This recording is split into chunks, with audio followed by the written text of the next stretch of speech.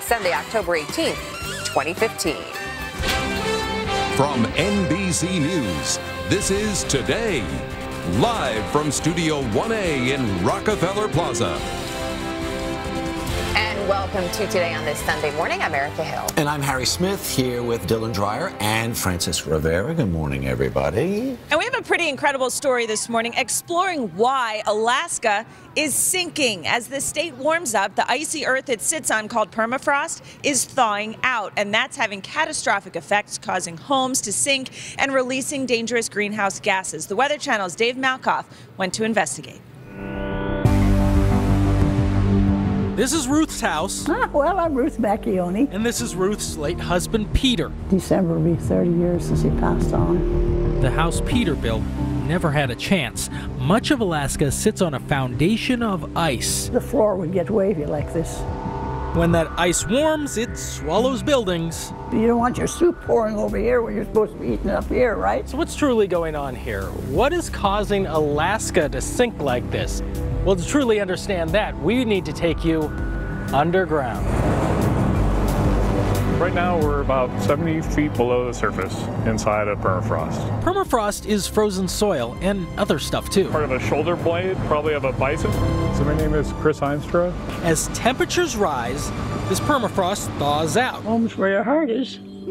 well, that's what turned Ruth's life upside down. That thermal environment has been changing because her house is there. And when you have a permafrost there, which is really oh, hard. Solid ice, yeah. It's solid ice. But and when you thaw that out, it turns into mud. And it just sinks down. Like and it subsides, yes where you don't want it to go is into the atmosphere. But that's exactly what's happening today. Permafrost is really the world's freezer, locking ancient dead plants and animals away underground where they cannot rot and give off greenhouse gases like methane.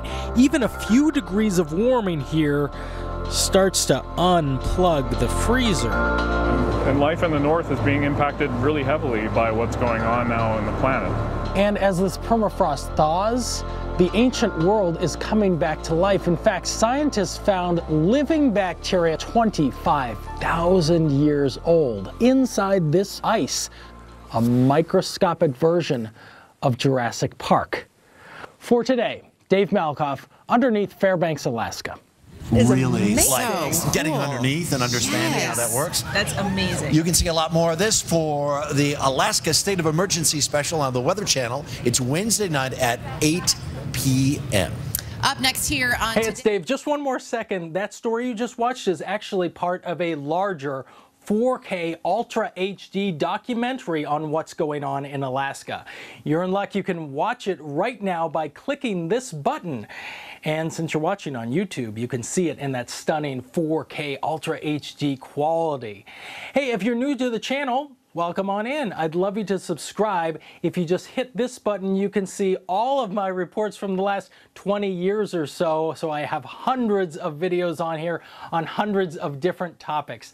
Thanks for watching and hopefully you can subscribe by clicking here in the documentary. Of course, you can click here to watch that.